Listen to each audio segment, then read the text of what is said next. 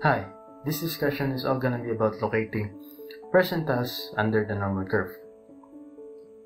The best way to start this discussion is to recap some of the concepts on how to derive the z-scores.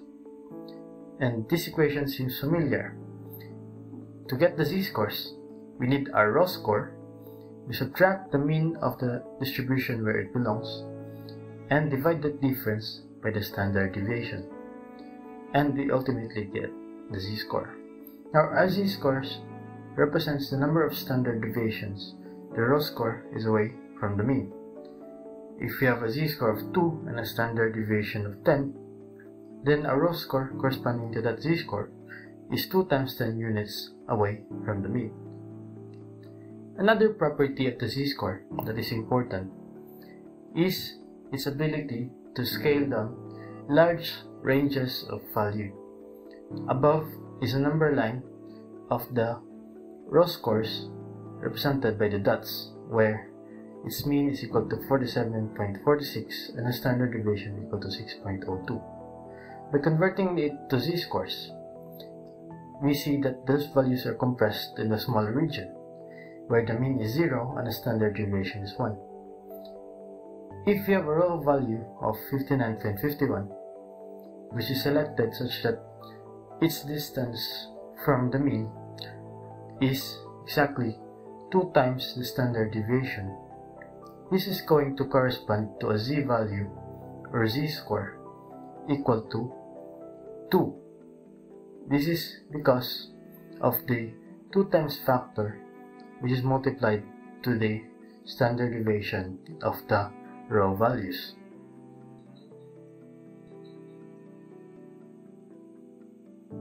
With this in mind, we can visualize our raw score in this column of the previous values.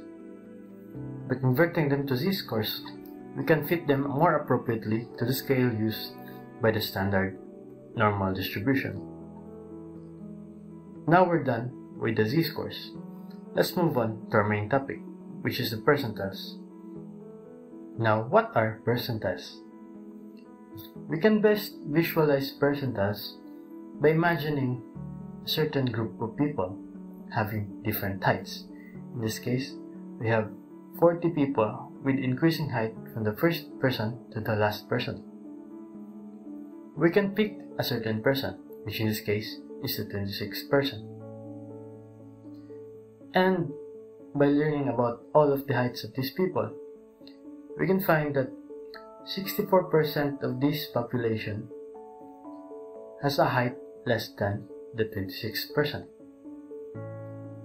What does this imply? In relation to our topic, we can say that the 64th percentile of this population is the height of the 26th person. We can utilize this concept on our proceeding discussion by figuring out what does the percentiles look like in the z-distribution, or also known as standard normal distribution. We can see that by relating it to our previous topics. Our percentiles can be represented as regions of areas or area under the standard normal curve. In this case, if half of the area shaded, represents an area of 0.5 or 50%. In this case, we have z equal to 0 on the center. And this z value right here is gonna represent our 50th percentile. This is because z equal to 0 marks 50% of the total area under the normal curve starting from negative infinity to it. Now moving on to the 96th percentile, we can find what is the value of z by drawing that area in the normal curve. And we'll see that this area is greater than half of the normal curve, or 0.96 in this case. It corresponds to another z value boundary of 1.75. z equal to 175 therefore marks the boundary for the 96th percentile. Now, we might ask how to find the percentiles under the normal curve. So first, we're gonna draw that area corresponding to the percentile as we did earlier and find the z-score boundary of the said area starting from the left tail to the certain z-value that is supposed to be the boundary of our percentile region. To further discuss this, we have three examples to discuss in the following scenes. First is a case where the percentile is less than the 50th. Second is a case where our percentile is more than 50. And we're also going to discuss how to interpolate between percentiles. Starting our discussion with the first case where our percentile is greater than 50, in this case the 84th percentile. We start by drawing this region on the standard normal distribution. You can see that the area is greater than half. So what we're going to do is since we got this area of 0.84 we subtract 0.5 to it and we're left with 0.34. The next step is to look for the nearest neighbor of 0.34 on the values on the z table. In this case, we have this blue surrounding rectangle and red surrounding rectangle as the closest neighbor of 0.34. To find the closest neighbor, we subtract each of the value from 0.34 and take the, their absolute values.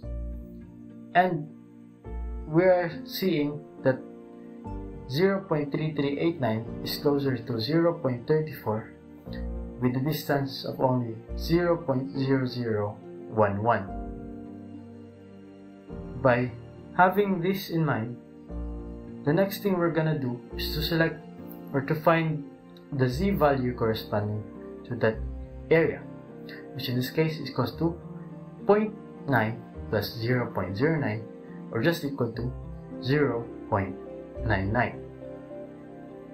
This z value therefore marks our 84th percentile. Moving on to our next example, we're to look for percentiles less than the 50th or in this case, we're gonna look for the 25th percentile. We can start again by plotting this region under the normal curve. And as you can see, it occupies less than half of the total area below. And we can solve for this percentile by subtracting that area from 0.5 and we're left with 0.25 also. And again we select the closest neighbors to it which is represented by the blue and red rounding rectangles. To select the final value, we then again subtract each of those selected neighbors from 0.25 and take the absolute value and record the differences and we can see that 0.2486 is closer to 0.25 with a distance of 0.0014. Therefore, we select that neighbor of 0.25. The next step, the same with the previous, is to select the corresponding z value to the said area, which in this case is equal to 0.6 plus 0.07 or equal to 0.67. A z-value therefore of negative 0.67 marks the 25th percentile. Notice that we've been using the negative value in this case because this percentile is less than half of the normal curve. Another special example is the 94th percentile. In this case, we are gonna be utilizing a method called interpolation. The 94th percentile is plotted with the area of 0.94. Since this is greater than 0.5, we subtract 0.5 from it, and we are left with a value of 0.44. The same with the previous problems, we're gonna look for the closest neighbor of 0.44 on the z-table. And we find that the closest neighbors are marked with the surrounding rectangles in blue and in red. From the two, we're gonna select the final closest value by subtracting each of those values to 0.44, taking the absolute value and look at their distances.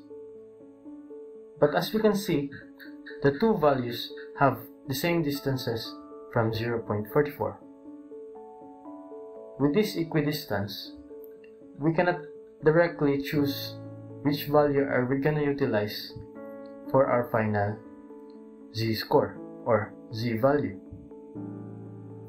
In this case, we're gonna employ interpolation, which we're gonna select the two corresponding z-scores and average them in order to find the final value. In this case, we have on the first is equals to 0.05 plus 1.5 equals to 1.55. The same with the other, which is equaling to 1.56. We average those two values, 1.55 and 1.56, and we arrive at a final value of 1.555.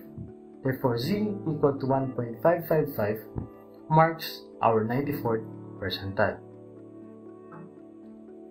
But since these values are known to be fixed in all percentiles under the standard normal distribution, we can list all of them into a table. And as you can see, this table materializes that thought, where, for example, the first percentile corresponds to a z-value of negative 2.33. And as we progress through the percentiles, we can see that this value increases and also the sign changes as we cross the 50th percentile. This is an easy tool to quickly find the value of the percentiles under the normal curve. To further apply this theory, we can solve a problem using it. In a certain class, they got their results in their final exam in statistics and probability. Their scores have the following parameters. The mean is 35 and the standard deviation equal to 10. It is known that 60% of the class fell below a certain score. And we want to know what is that score. The next problem is if a certain student named Bill scored 47 in this exam, what is the percent of the class that scored less than him? Below, we list all of the given parameters. And our problem is to find the z-score and then the raw score equivalent to that z-score, which corresponds to the z 60% of the class which in this case is the 60th percentile surrounded in blue, corresponding to a z-score of 0.25. Now that we have our z-score, and we also have our mean and standard deviation, we can use the previous given formula for our z-score. And instead of finding the z-score, we can plug in the given values and find our raw score which we are looking for on the first question and ultimately we arrive at the value of our score at x is equals to 37.5 and our first question is answered right here. The next thing we're going to look for is the percentage of the class that scored less than Bill, which is 47. What we do is to convert these raw scores, which in this case is equals to 47, to its equivalent z-score. Using the previous formula, we can see that 47 minus the mean over standard deviation is equal to 1.2. And the next step is to look for 1.2 on the z table. And 1.2 corresponds to 1.2 plus 0.00 and we arrive at an area or a value of 0.3849. But this value is just the region in between 0 and 1.2. What we are looking for is z less than 1.2 which is 0.5 plus the previous answer equal to 8849 or 88.49%. In conclusion, 60% of the class scored below the raw score we solved earlier equal to 37.5. The 60th percentile therefore of these raw scores is 37.5. The scores at the 60th percentile or the z-score is equal to 0.25 and 88.49% scored less than Bill on the second question, therefore making Bill's score the 88th percentile.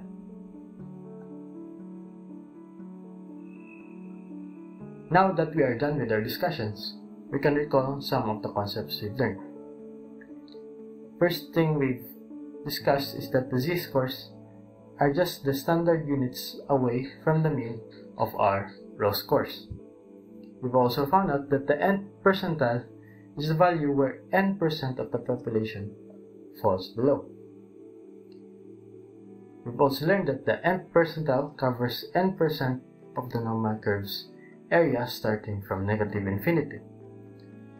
We've known that subtracting 0.5 is necessary for percentiles that are more than the 50th. And we also found out that the z values representing a percentile less than 50 is always a negative value. And lastly, we've learned that the z value representing the 50th percentile is 0. Thank you for listening.